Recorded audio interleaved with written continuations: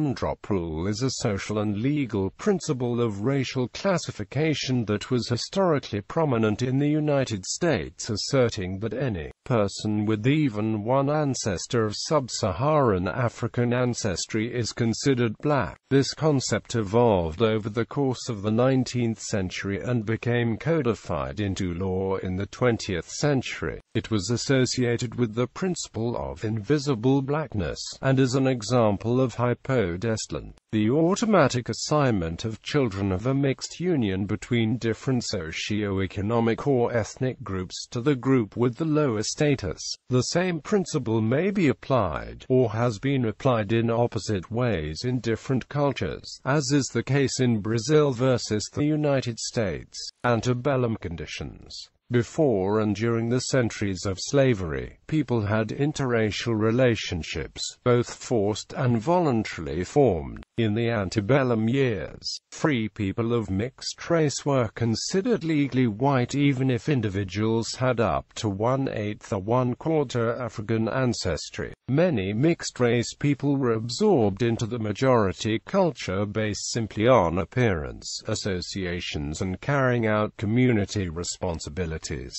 These and community acceptance were the more important factors if a person's racial status were questioned, not his or her documented ancestry. Because of the social mobility of antebellum society in frontier areas, many people did not have documentation about their ancestors. Based on DNA and historical evidence, Thomas Jefferson is widely believed to have fathered the six mixed-race children of his slave Sally Hemings. Four survived to adulthood. Hemings was three-quarters white by ancestry and a half-sister of Martha Wayles Jefferson. The children were born into slavery because of her status, as they were seven-eighths European in ancestry. They were legally white under Virginia law of the time. Jefferson allowed the two eldest to escape in 1822, the two youngest he freed in his 1826 will. Three of the four entered white society as adults,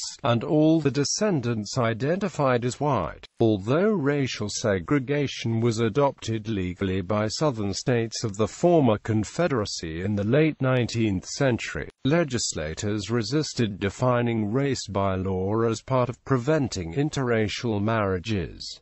In 1895 in South Carolina during discussion, George D. Tillman said, It is a scientific fact that there is not one full-blooded Caucasian on the floor of this convention. Every member has in him a certain mixture of colored blood. It would be a cruel injustice and the source of endless litigation, of scandal, horror, feud, and bloodshed to undertake to annul a forbid marriage for a remote, perhaps obsolete trace of Negro blood. The doors would be open to scandal, malice, and greed.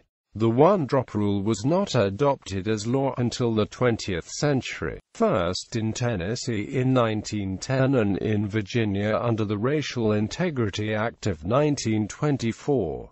Native Americans. In the early colonial years, marriages between natives and non-natives usually consisted of a white father and an Indian mother. This was due to the majority of the early colonists being male. Among many tribes, mixed-race children are considered part of the community if they are raised in the culture. This is particularly the case in matrilineal nations, where if the mother is a citizen of the nation, so are all her children, no matter who the father may be. Among patrilineal tribes, such as the Omaha, a child born to an Omaha mother and a white father could belong officially to the Omaha tribe only if the child were formally adopted into it by a male citizen. 20th century. In the U.S. the concept of the one-drop rule has been chiefly applied by white Americans to those of sub-Saharan black African ancestry in the 20th century, when they were trying to maintain white supremacy.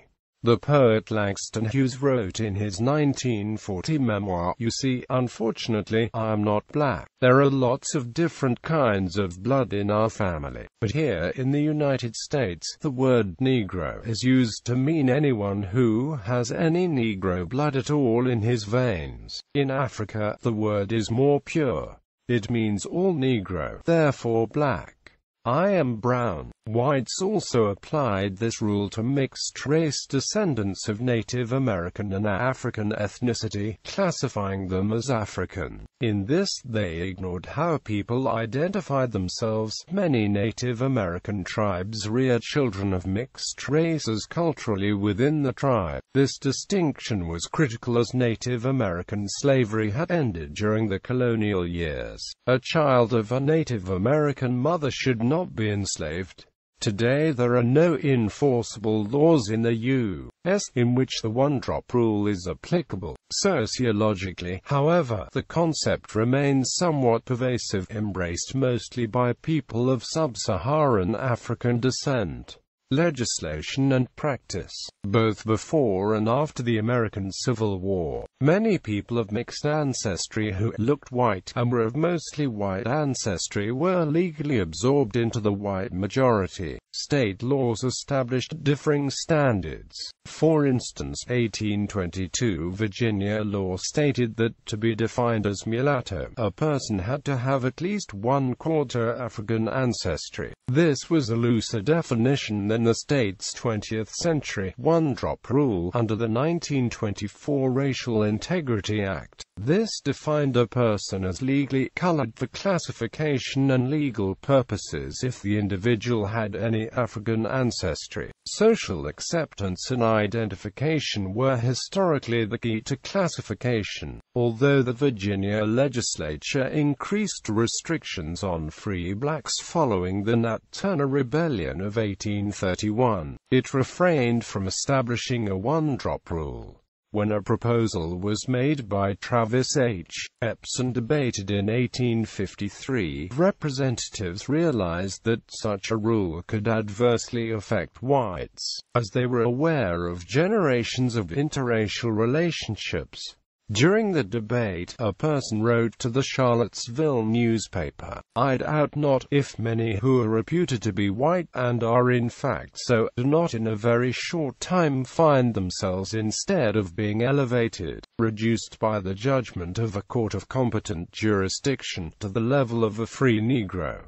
The state legislators agreed. No such law was passed until 1924, apparently assisted by the fading recollection of familial histories. The Melungeons are a group of multiracial families of mostly European and African ancestry whose ancestors were free in colonial Virginia. They migrated to the frontier in Kentucky and Tennessee. The descendants have been documented over the decades as having tended to marry persons classified as white. The descendants became assimilated into the majority culture from the 19th to the 20th centuries. Pursuant to Reconstruction later in the 19th century, Southern states acted to impose racial segregation by law and restrict the liberties of blacks, specifically passing laws to exclude them from politics and voting. From 1890 to 1908, all of the former Confederate states passed such laws,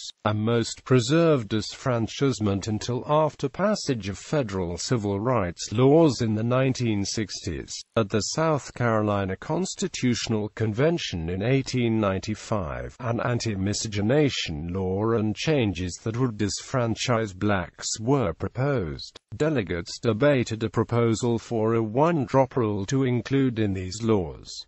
George D. Tillman said the following in opposition, if the law is made as it now stands respectable families in Aiken, Barnwell, Colleton, and Orangeburg will be denied the right to intermarry among people with whom they are now associated and identified. At least 100 families would be affected to my knowledge. They have sent good soldiers to the Confederate Army, and are now landowners and taxpayers. Those men served creditably, and it would be unjust and disgraceful to embarrass them in this way. It is a scientific fact that there is not one full-blooded Caucasian on the floor of this convention.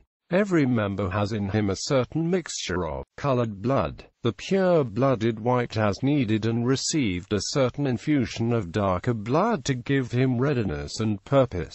It would be a cruel injustice and the source of endless litigation, of scandal, horror, feud, and bloodshed to undertake to annul a forbid marriage for a remote, perhaps obsolete trace of Negro blood. The doors would be open to scandal, malice, and greed, to statements on the witness stand that a father, a grandfather, a grandmother had said that A B had Negro blood in the veins. Any man who was half a man would be ready to blow up half the world with dynamite to prevent or avenge attacks upon the honor of his mother in the legitimacy or purity of the blood of his father. In 1865, Florida passed an act that both outlawed miscegenation and defined the amount of black ancestry needed to be legally defined as a person of color. The act stated that every person who shall have one-eighth or more of Negro blood shall be deemed and held to be a person of color. Additionally, the act outlawed fornication, as well as the intermarrying of white females with men of color. However, the act permitted the continuation of marriages between white persons and persons of color that were established before the law was enacted. The one-drop rule was made law, though primarily in the U.S.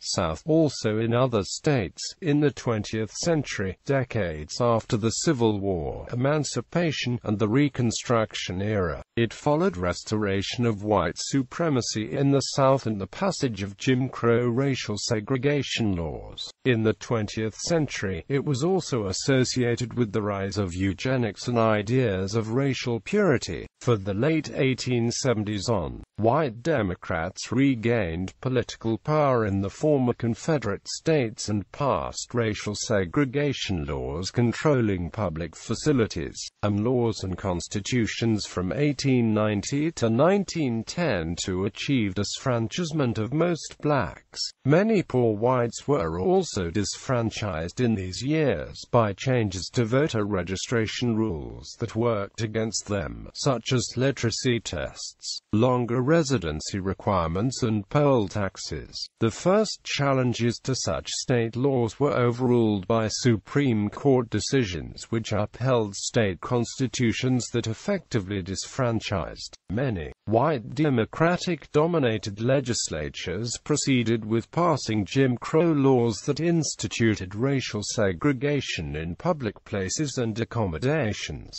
and passed other restrictive voting legislation.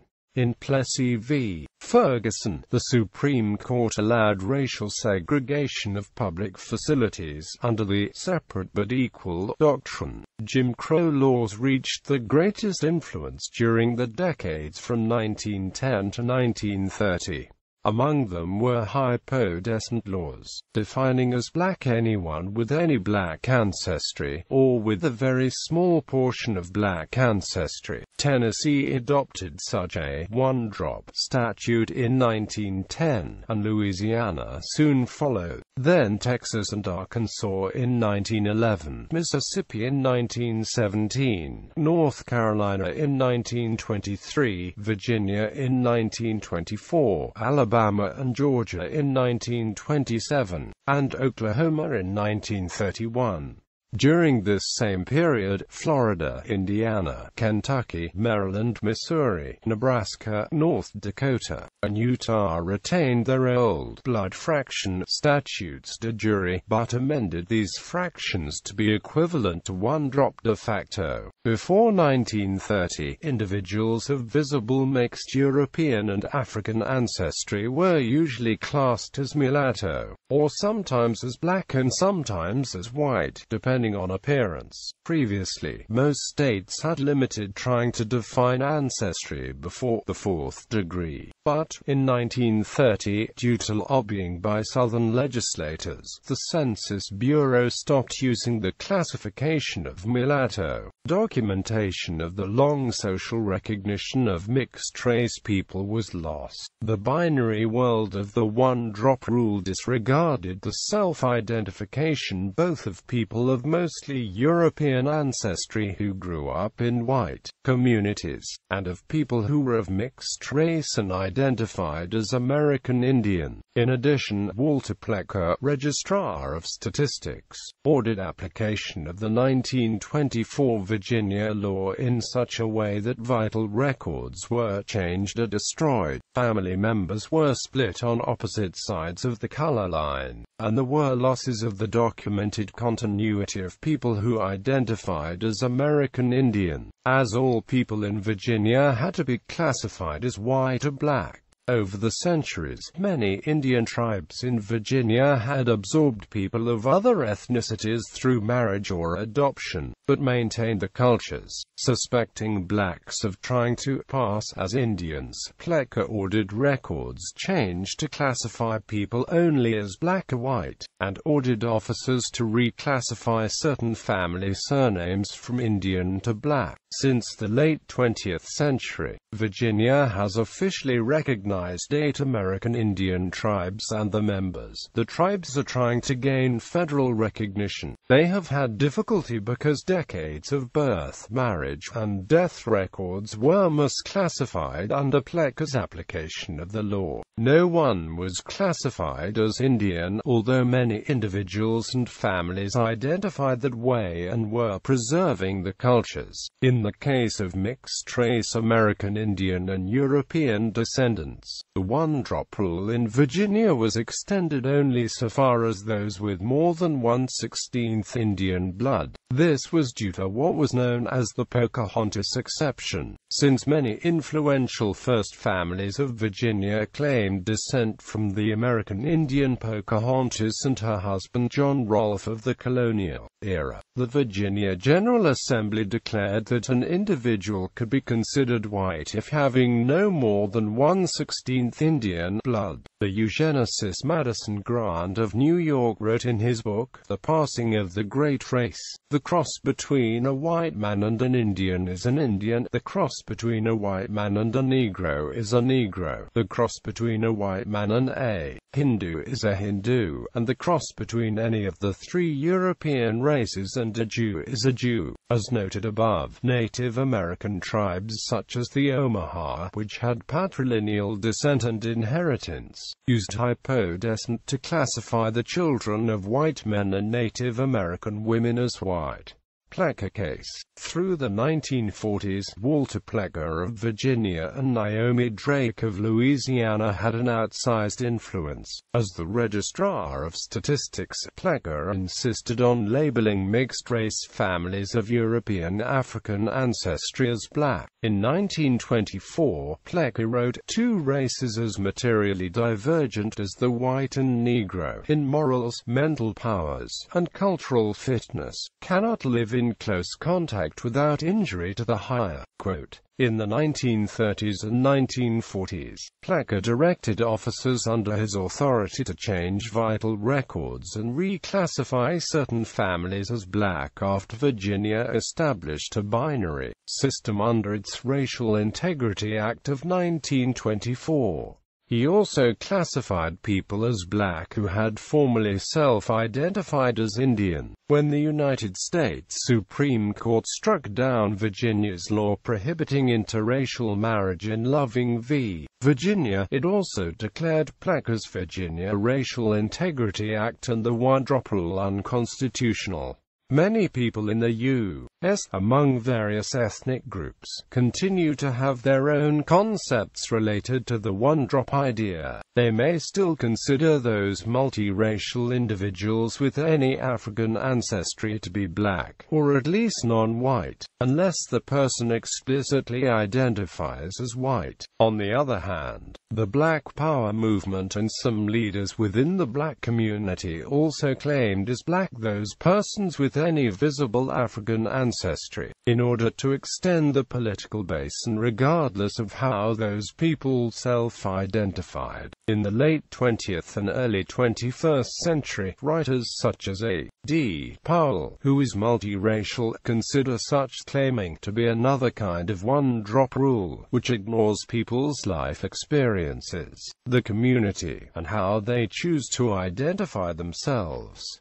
The number of self-identified multiracial people in the U.S. is increasing. Other countries of the Americas, among the colonial slave societies, the United States was nearly unique in developing the one-drop rule. It derived both from the Southern slave culture and the aftermath of the American Civil War, emancipation of slaves, and Reconstruction. In the late 19th century, Southern whites regained political power and restored white supremacy, passing Jim Crow laws and establishing racial segregation by law. In the 20th century, during the Black Power movement, black race-based groups claimed all people of any African ancestry as black in a reverse way, to establish political power. In colonial Spanish America, many soldiers and explorers took indigenous women as wives. Native-born Spanish women were always a minority. The colonists developed an elaborate classification and caste system that identified the mixed-race descendants of blacks, Amerindians,